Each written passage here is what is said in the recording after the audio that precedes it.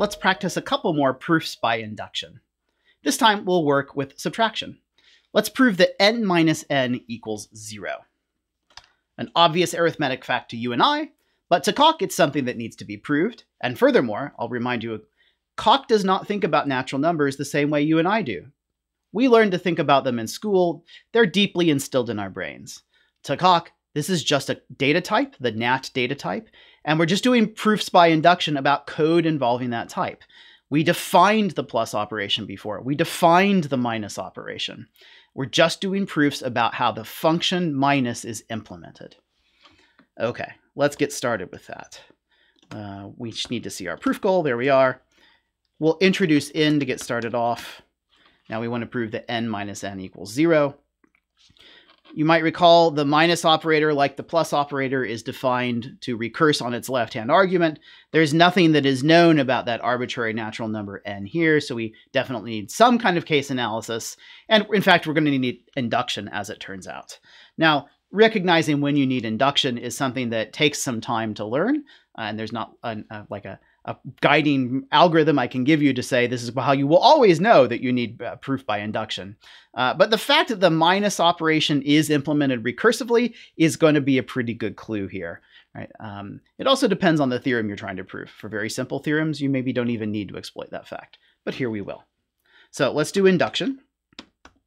Now we learned some syntax for, for this in the previous lecture, uh, in the previous video. I'm going to do a simpler syntax here so we can play with it, and then we'll build back up. I could just say induction n, just to say that I want to do induction on that term n. Uh, and that mostly does exactly what we had before. We get two cases, one for the zero, one for the successor. Now, the things I didn't do was to introduce that, or to give that intros pattern. Uh, that intros pattern gave names for the piece of data carried by the successor constructor and the inductive hypothesis.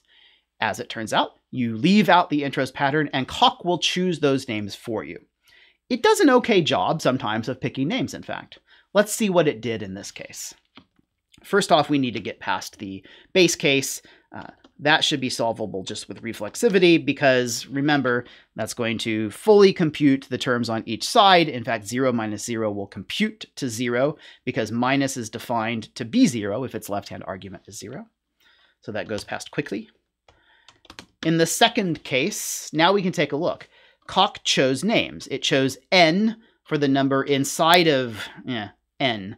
This is why sometimes we would prefer to choose our own names here, just to make it clear to our human brains that we're actually dealing with a different natural number n here than we were up at the top of the proof. So uh, I could say as uh, n prime here if I like for the intros pattern. To me, that's clearer. Your mileage may vary. But now I can see I'm dealing with a successor of n prime, where n prime here is that smaller natural number. Well, I didn't name the inductive hypothesis this time, and yet I got the name IHN prime. Because, as it turns out, Coq will automatically choose the name IH followed by the name of the term that it was instantiated on. So since we were instantiating the inductive hypothesis on n prime here, that's what it chose. If we had said that we wanted this to be named k or something else like that, right? So now we've got k as a natural number, and we've got the inductive hypothesis for k, which is that k minus k equals zero. Okay, you can do it either way. Hey, let's let's stick with k for now. All right. So as we did before, we can notice that we've got a minus sign here, and that's really the minus function. And if we think about the minus function, we know that it's implemented to pattern match on its left argument and would, would in fact simplify if its left argument was a successor of some other number. So simpl is going to work there. That's how we can think about it in our heads to uh, think through the fact that it should work. Of course, when you're first learning Coq, sometimes it's difficult to keep all of that in your head. No problem it's totally fine to try out simpl and see what happens. That will help you build up your intuition about what simpl does, when it works, and when it doesn't. Okay. Now we've got something that looks like the inductive hypothesis. We've got k minus k here and k minus k here. Uh, by the way, you might notice, in fact, that the inductive hypothesis is exactly the goal that we're trying to prove here. We're going to see later on tactics for handling that kind of situation. Uh, for now, uh, let me just briefly skip ahead and say, in fact, you could say prove that by assumption. The thing you're trying to prove has already been assumed as part of the hypotheses. That would totally work as well. Okay, but we're that's that's that's looking a little bit ahead for now. Uh, based on the tactics that Software Foundations has already introduced, rewrite would work though. We could replace the k minus k with zero in the goal. So we want to rewrite going from the left to the right with IHK. Great, we've got zero equals zero at that point. Uh, by the way, left to right is the default order, so you can in fact leave that out if you wish. It's only if you want to go from right to left that you actually really do need to write it. Okay, now we've got 0 equals 0. Well, that follows by reflexivity. Great. And now we've finished that proof. Now you might go back to here and ask yourself, did I really need to do simpl here? Like, could I have left that out? Well, take a look at what's going on here. Uh, if you want to rewrite with IHK at this point, you need to have something of the form k minus k showing up in the goal. But being very syntactically literal here, there is no k minus k appearing there. There's successor constructors that are getting in the way. So if we try to rewrite with that, we're going to say, get an error here that says, found no subterm matching k minus k. So the simpl really was necessary there. That finishes that proof. Let's try another one. Let's prove that add is a commutative operation. For any two natural numbers n and m, uh, if we add them together, uh, it doesn't matter which order. n plus m equals m plus n. Actually, it's really tricky to say n and m and distinguish them every single time in a way that's easy to hear. So you know what? I'm going to change that to a and b. a plus b equals b plus a. Hopefully those sound more distinct. Okay, to get started on that, this is going to be another proof by induction. So let's introduce both of those variables, a and b. Sorry, Emacs is trying to keep more of the screen visible for me, but it's doing a bad job at this point of picking exactly which parts of the screen should be visible. Uh, I'll remind you, the reason this is happening is because I've made the font size huge for sake of these videos. When you're doing this on your own screen, this shouldn't be so much of a problem. Okay. Now, we have a choice at this point of which to do induction on. Do we want to do induction on A? Or do we want to do induction on B? This is another thing that can take some time to get used to figuring out in Coq. Uh, as a as a rule of thumb, you want to do induction on whichever variable is going to be pattern matched on. For example, in the plus operation here, we know that in fact the plus function that it's defined based on uh, is really going to pattern match on the left-hand argument. Now, in the case of this theorem, uh, we've got a left-hand argument of A over here, a left-hand argument of B over here. So it turns out we'll be fine no matter which one we choose. So I'll do it here based on A perhaps, and then if you want to, after this video is over, maybe you go back and try doing it on B and see how things change. Okay, so I'll do it by induction on A. Uh, this time, so I see that successor of A down there. I would actually like to give it my own name, just so I'm not confused about whether I'm looking at the original name A up here or the, the number that's carried along that's smaller than it. Okay, so for the base case, we've got 0 plus b equals b plus 0. Hmm. Um, well, I know that I could simplify, right? That gets rid of the 0 on the left. But as we learned in a previous video, to get rid of the 0 on the right, actually that took a proof by induction. Okay, well, we've already done that proof. What did we name it up here?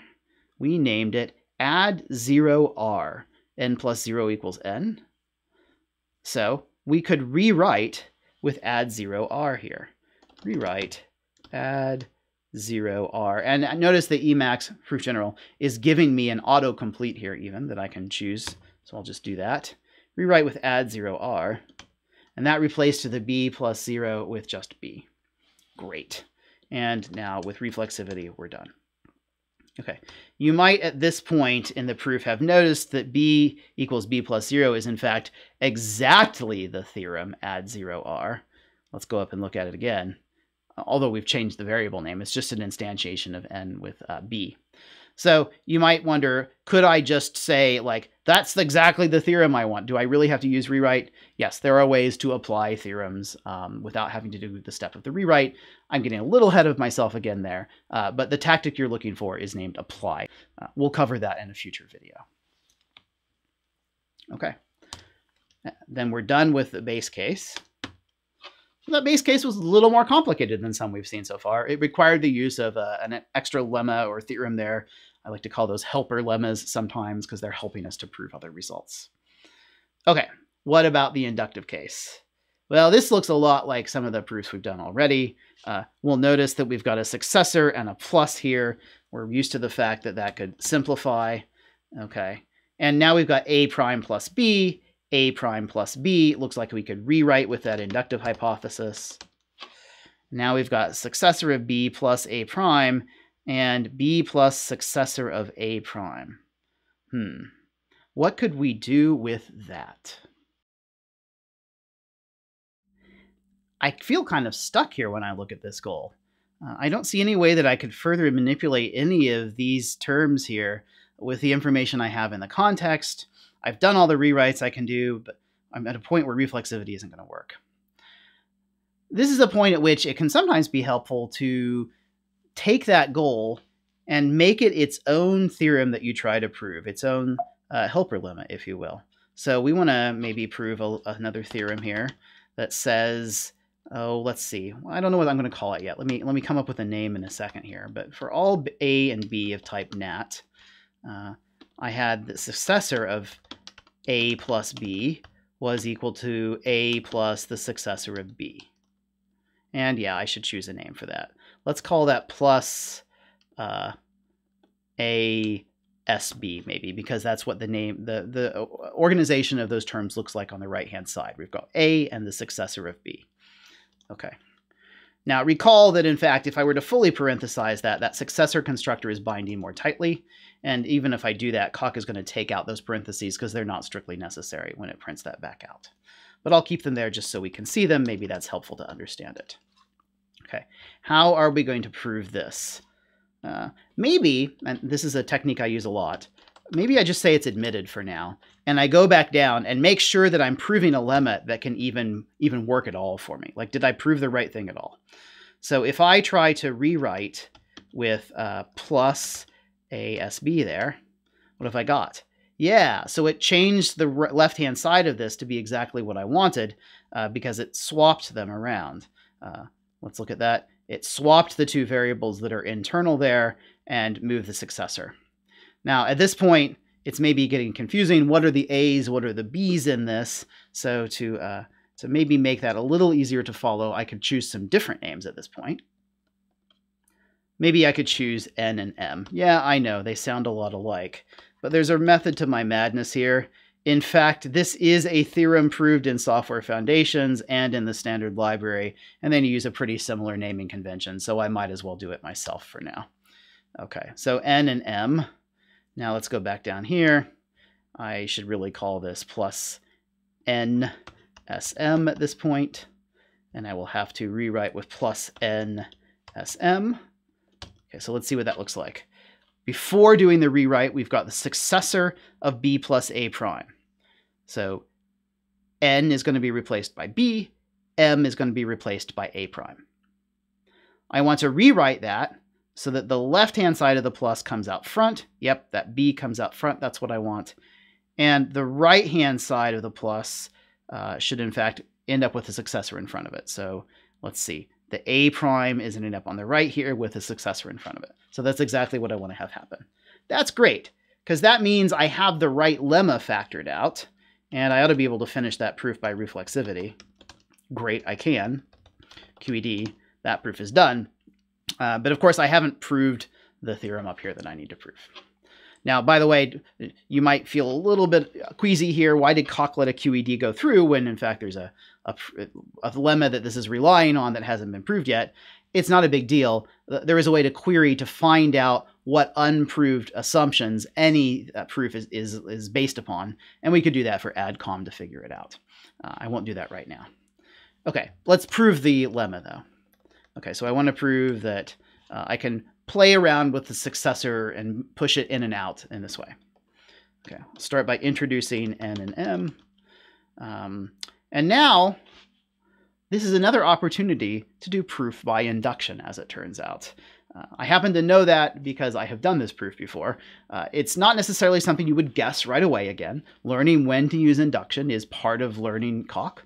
Uh, the reason it might be reasonable to use here is that you can see you've got something involving plus. Plus is defined recursively, so you might need induction. If you started off by using destruct and got stuck, you would probably get stuck at a point where you realized, oh, I need another instance of the same theorem I'm proving. That would be a clue that you needed induction. Okay, let's do induction on n here. And as usual, I will give the interior variable a name n prime. Okay, so for the base case, let's see. Well, that should simplify at this point. And in fact, uh, great, it simplifies to exactly the same term. If I undo that simplification, what did, what did I have? I had the successor out front of a 0 plus, but the 0 plus is going to simplify. Just get rid of that, becomes m, and so reflexivity does it. Now, of course, I could have done the whole thing with just reflexivity. We learned that in a previous video. Okay, now what about this case? Uh, we've got something that looks vaguely similar here to the inductive hypothesis, but it's not exactly the same yet. We could try simplifying, and maybe you see what would simplify already. That interior plus is what simplifies, because we've got successor of something plus, we've learned that that's going to simplify. Okay. Now we have exactly the left-hand side of the inductive hypothesis showing up in two places here. So let's rewrite with that. And look at that. Now we end up with exactly the same term on both hand sides of the equality, so reflexivity will finish our proof. Cool. So it took a helper lemma, and we were able to prove that add is commutative, a fact that you and I take for granted, and now we've verified it for Coq.